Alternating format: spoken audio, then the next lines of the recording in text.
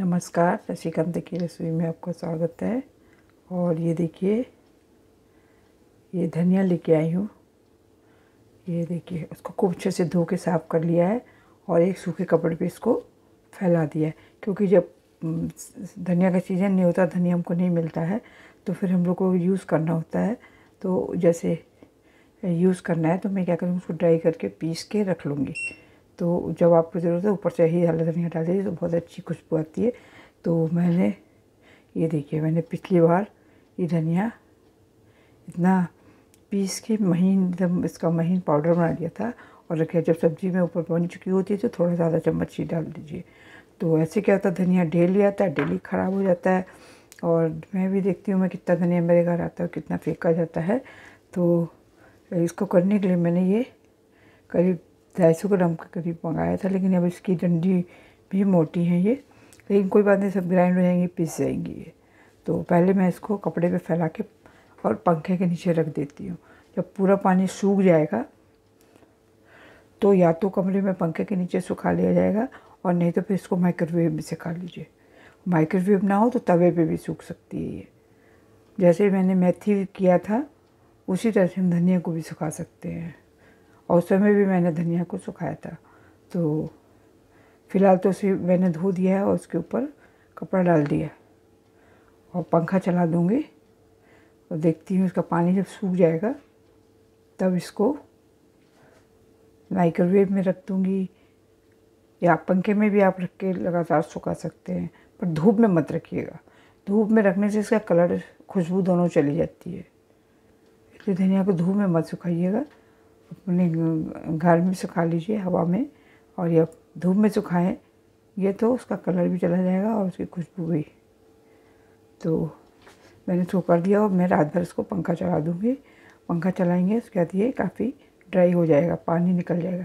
तो फिर मैं इसको तवे पे सेक लूँगी, गर्म कर लूँगी और नहीं तो माइक्रोवेव में कर लूँगी और फिर आपको फिर इसको पीस के फाइन पाउडर बनाऊँगी। तो उसका आगे का मैं दिखाऊँगी। ये देखिए जैसे बनाया था, देखिए कितना बढ़िया बना है ये देखिए।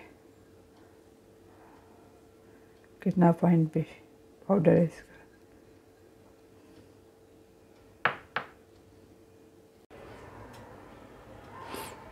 ये देखिए, जो धनिया मैंने कपड़े पे डाला हुआ था, वो धनिया एकदम देखिए ये, इसका पानी ड्राई हो रहा है फ़ैन के नीचे मैंने रख दिया था इसको।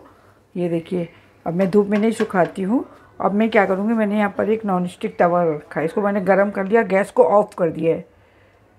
और इसमें मैं इसको इस तरह से, देखिए, इस तरह से इसको डाल दूँगी।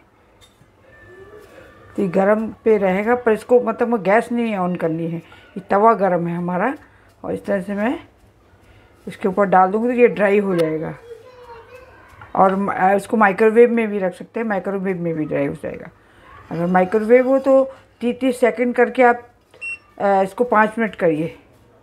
तीस सेकेंड, फिर बंद करके, फिर तीस सेकेंड, फिर बंद करके, फिर तीस सेकेंड से पाँच मिनट करिए और फिर निकाल लीजिए और फिर ड्राई हो जाता है, फिर इसको हम ग्राइंड कर लेंगे। पीस लेते तो हमारा फाइन पाउडर तैयार हो जाता है और उस पाउडर को हम फिर अपना शीशी में भर के स्टोर कर लेते हैं। और जब आपको धनिया डालना हो तो आप अंदर सब्ज़ी में धनिया बनने के बाद डाल दीजिए, बहुत टेस्टी सब्ज़ी बनती है, बिल्कुल बढ़िया सा फ्लेवर आता है और खुशबू आती है। ये देखिए धीरे धीरे ये, इस पर ये देखिए बिल्कुल ड्राई हो गया, ये देखिए ये देखिए। और अगर आपका ये तवा ठंडा हो जाए नॉन स्टिक पर ही डालिएगा तो फिर से फिर हल्का सा फिर गर्म कर लीजिए। मतलब बार बार ऐसे करेंगे तो दो तीन बार में ये हो जाता है, ये देखिए। फुल ड्राई हो गया। अब हम इसको मिक्सी में पीस लेते हैं और इसका फाइन पाउडर तैयार कर लेंगे। वो दिखाते हैं आपको। ये देखिए, हमने इसको ये तो हाथ से ही हो गया। अब इसको बस छान लूँगी तो ये फाइन पाउडर हमारा बन जाएगा। ये देखिए, इसको छान लूँगी छलनी से मोटाला हटा दूँगी और नीचे पाउडर रह जाएगा। आपको दिखाती हूँ।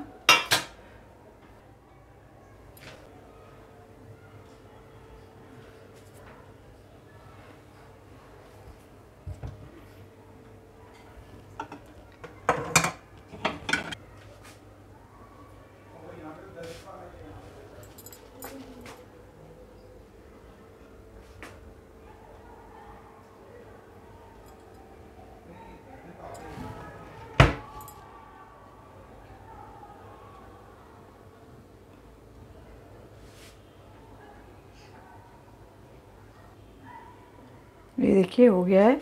पसंद आए तो लाइक शेयर सब्सक्राइब करिएगा और एक बार बना के आप भी इसको रख लीजिए और देखिएगा कितना यूज़फुल है ये।